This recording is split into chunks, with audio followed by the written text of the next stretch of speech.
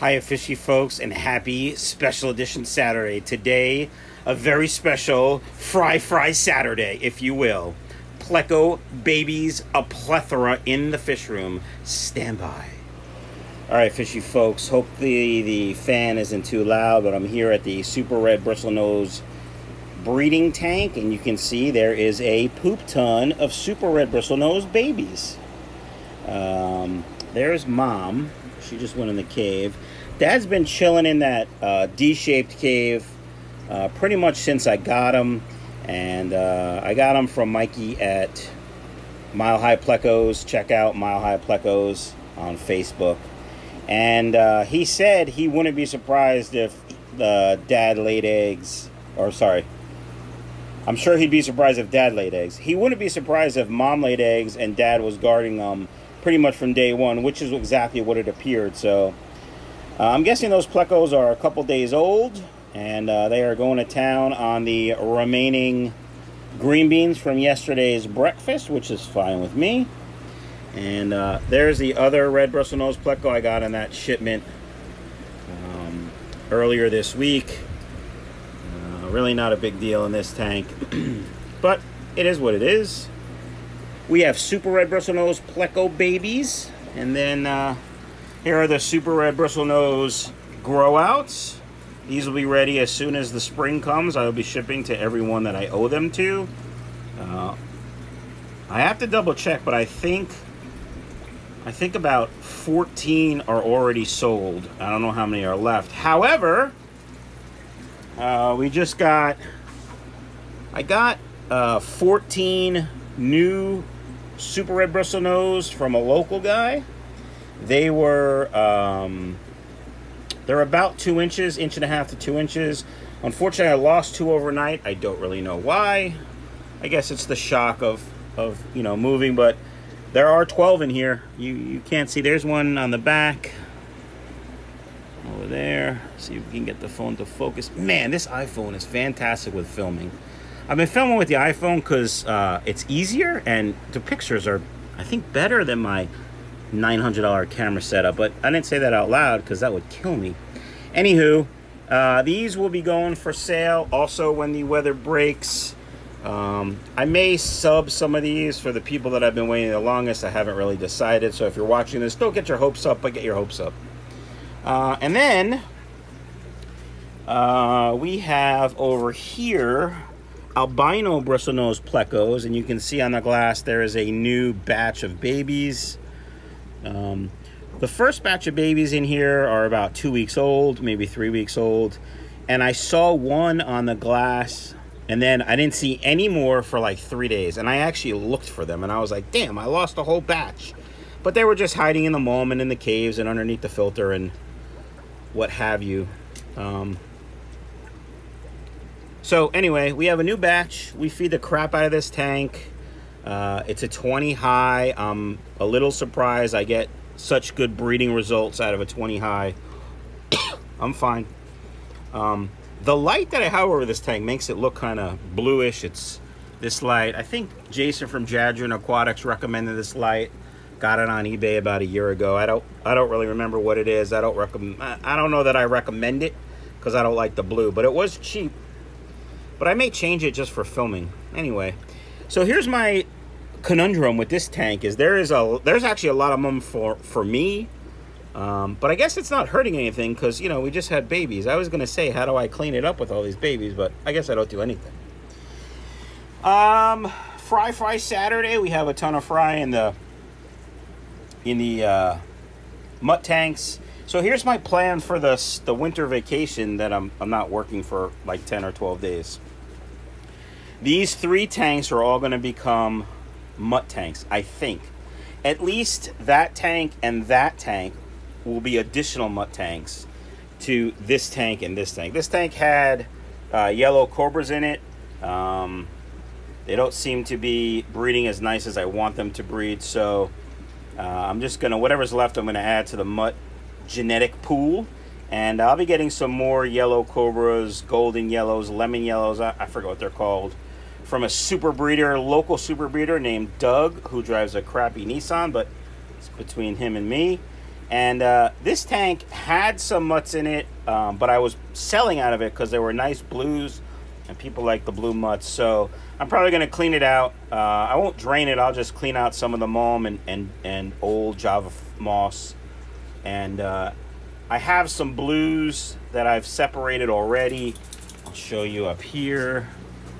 These guys, these were the um, the Japanese blue colony that got away from me because of the red I mean, that is a stellar looking fish, but I can't sell it as a Japanese blue, right? So I'll sell it as a mutt. There's still some nice uh, Japanese blues in here. I, I may or may not, probably not, um, add them to my other Japanese blue colony that I got from Juan in Puerto Rico. I'll show you that because there's a ton of fry in there too. They're in the super red bristle nose grow out tank. And you see all the fry. So these guys, like there's the male. I think I got a trio from him. Uh, he sent them to me at no charge just to check shipping. He did a great job for his first time shipping. Uh, I don't think he has anything set up yet. As soon as he does, I will definitely help promote him. But I mean, very fat females, very plain females for this strain, but very fat females. And uh, you know that male, not a great lower sword, but it'll come. It'll come soon. Uh, oh, um, black panda guppies seem to be growing like guppies. So, uh, I think I'm going to start selling the fry pack again and take these off back order because they're growing nice. I have a ton. I don't know if I ever officially showed you my Variatus platy colony. This is another one of those lights that was over the Pleco tank, you know, that makes the water look blue. And this, and the water looks blue or green. It's, it's really not that, like, cloudy. Anywho, I got these from a local guy, and they're still in quarantine. And actually, they're going to be in quarantine, I think, for a while longer, because I'm not sure if that poop is white and stringy. Like, that poop looks really nice and dark. I can't believe I just said that on a video. That poop looks really nice. But the poop on that big female is troubling me. So I will I will keep these guys in quarantine for a while longer. The interesting interesting thing about these guys is you can see that one right there with the dots on it. What is that? Huh? That's not a platy. And then there's another something over there. Huh? I'm guessing it's some kind of cichlid. So you cichlid guys, Scott, let me know what it is. Let me know if I should just feed it to Chewy or what do I need to do. I don't know if I showed you how cute these little babies are, but they are freaking adorable. Adorable. All right. Uh, any more babies? I mean, there's a ton of fry. You know, it's a breeding, breeding for profit fish room. I think that's it. Oh, how about an update on the Jarowi Lazulis? Uh, they are slow growers and I still can't really sex most of the babies. So uh, we are feeding the bejesus out of the tank.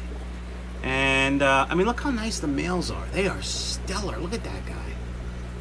But as soon as these are, are breeding or uh, I can sex them, I will fill my back order situation and then put them back for sale on the website.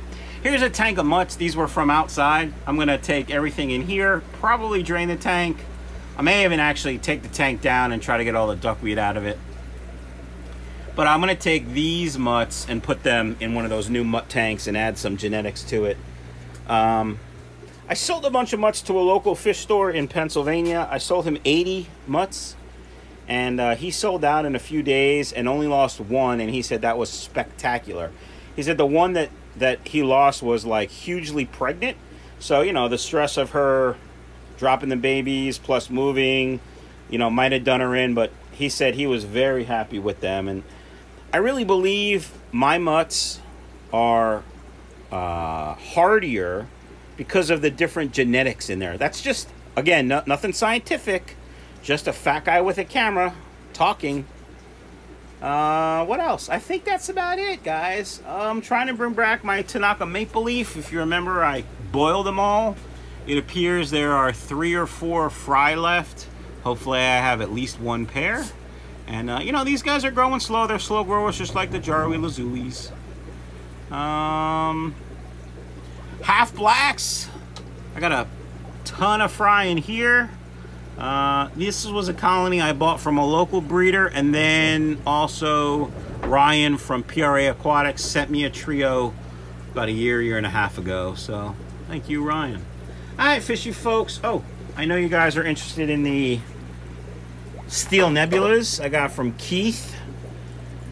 Uh, lots of babies. This was I don't know if you remember this. I'll put a link maybe to the to the the unboxing video, but these guys were delayed in shipping like two days, and I had I don't know about 35% of the colony had died in shipping. Couple more died after I put them in the bag, but these guys came through strong, dropped fry right away. I mean, I can't fault Keith at all. Post office delayed two days and it was cold as you know what. So I think Keith did a great job. But you can see there's fry, little tiny fry uh, in there. So these guys are stellar. When it gets warm, we'll be putting these guys on the website. Steel Nebula Guppies. All right, fishy folks, that's it. Happy special edition Saturday. Don't forget to check out uh, Three Fish Guys. Breakfast with Three Fish Guys. I keep forgetting the name because I'm an idiot. And uh, have a great day.